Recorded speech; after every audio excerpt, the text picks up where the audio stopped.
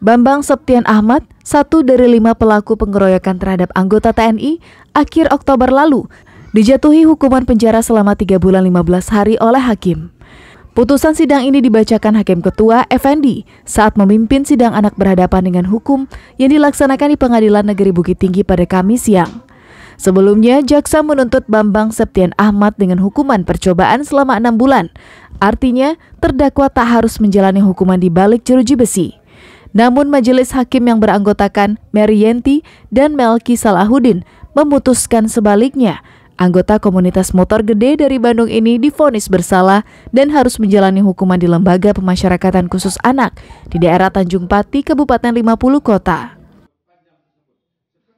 Menjatuhkan pidana kepada anak oleh karena itu dengan pidana penjara selama 3 bulan dan 15 hari di Lembaga Pembinaan Khusus Anak di Tanjung Pati.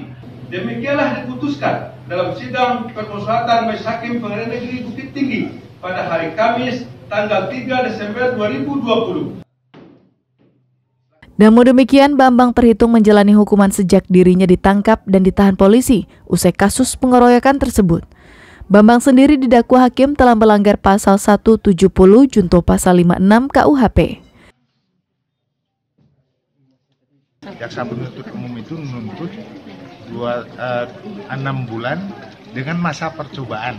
Tidak menjalani namun eh, jaksa menyarankan pidana khusus untuk lembaga eh, di lembaga pelatihan ya. Kalau majelis hakim pidananya eh, selama tiga bulan 15 hari.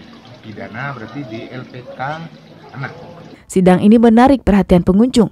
Beberapa orang rekan korban terlihat menyaksikan jalannya persidangan dari luar ruangan karena ruang sidang telah dipenuhi oleh pengunjung lainnya.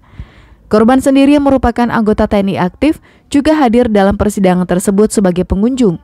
Bambang merupakan satu dari lima terdakwa kasus pengeroyokan anggota TNI yang diajukan polisi ke meja hijau. Bambang diproses secara terpisah dari empat rekan lainnya karena Bambang baru berusia 16 tahun dan masuk kategori peradilan anak. Empat pelaku lainnya akan segera disidang dalam waktu dekat. Sri Luis melaporkan dari Bukit Tinggi.